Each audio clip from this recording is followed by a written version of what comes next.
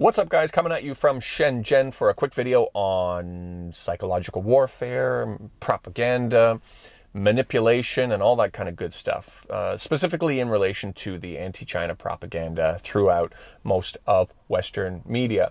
A quick warning I'm parked where there seems to be a couple of guys down there singing on a speaker. I probably should have known better. I think they're there every morning.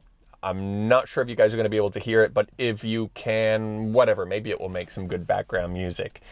But uh, let's get on to the, into the topic. The first thing I want to talk about is the two main things that seem to be continually perpetuating the lies about China, and that is both reward and fear. I'm actually in the middle of a new book right now that's that brings a lot of additional great context to this topic, and it's called "The New Confessions of an Economic Hitman" by John Perkins.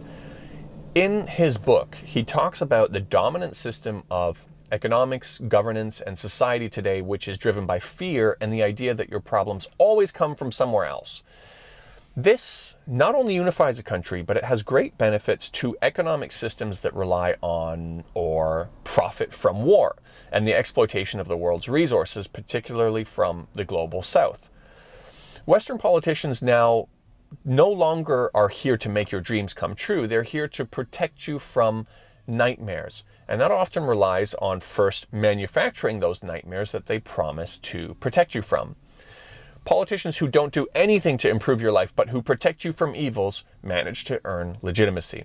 And I think this is exactly why during the Biden versus Trump campaigning, it oftentimes looked like a competition on who would put China in their place better than the other.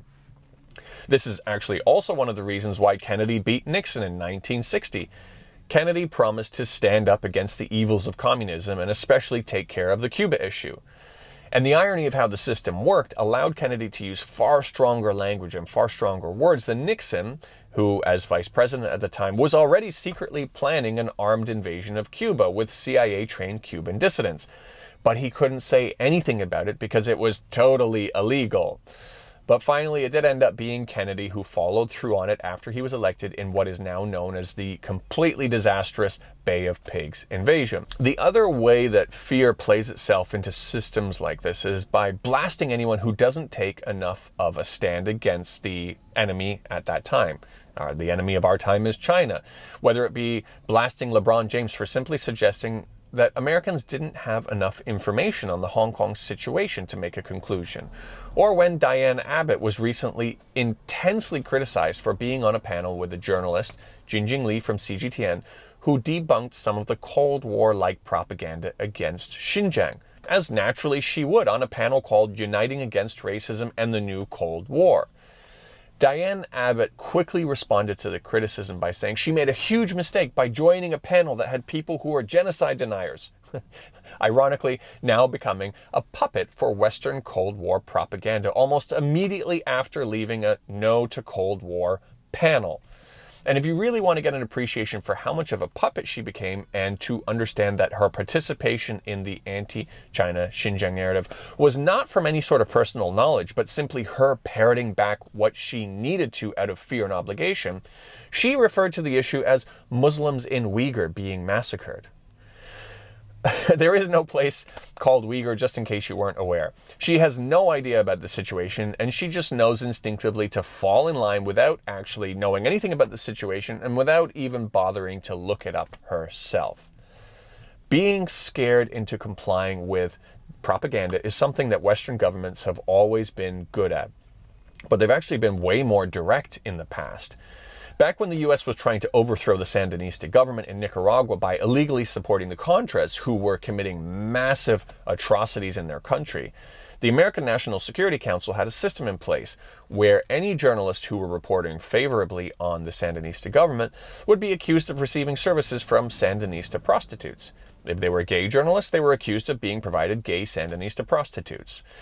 Today, it's of course far less elaborate than this. When you talk about the positives of China, you're simply called a CCP shill, and instead of requiring more conclusive evidence and more consequences for seeking the truth, like you'd expect after these historical references, the threshold seems to be lower, and people seem to require less and less.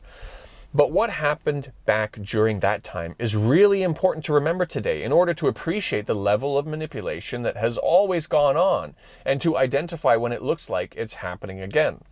The propaganda machine that went into work to discredit the Sandinista government and anyone who said anything positive about them was extremely extensive. Walter Raymond Jr. was from the CIA Propaganda and Psychological Warfare Department, who initially focused on overseas efforts. However, the kind of psychological warfare that he specialized in was illegal for the CIA to use on their own people in America. And this is exactly why he first resigned from the CIA and moved over to a CIA cutout to deploy the US government's Nicaragua propaganda. Now, here we are today with almost all of the overseas Uyghur NGOs also being funded by a CIA cutout, the National Endowment for Democracy, and a system is in place that strikes fear into anyone who dares say that the Xinjiang genocide narrative smells really fishy. And nobody's stopping to say, hang on a sec, guys, we've seen this before. CIA cutouts and military industrial complex backed NGOs, like ASPI, the one I've spoken about before, are funding almost all of the organizations pushing the Uyghur genocide narrative. Millions of dollars is being pumped into this, and hardly anyone is wiser to what this usually means despite the historical context that's available to us now. You're being played like you've always been played. And while the Chinese government, contrary to your belief, is actually delivering dreams to its people, raising hundreds of millions of people out of poverty, increasing the standard of living, creating a society where the upward mobility for the bottom 50% is better than anywhere else, and building infrastructure projects we could only dream of in the West, while they're doing all of this, you are participating in and perpetuating the system that allows you to be content with a system where your politicians do nothing for you except protect you from the same nightmares that they first invent for you. I think it's time to wake up, world. And I'm with that, I think I'm going to keep this video really short and simple just to leave you a little bit of food for thought and to think a little bit more about what's going on. So with that said, I will see you guys in the next video. Take care and see you soon.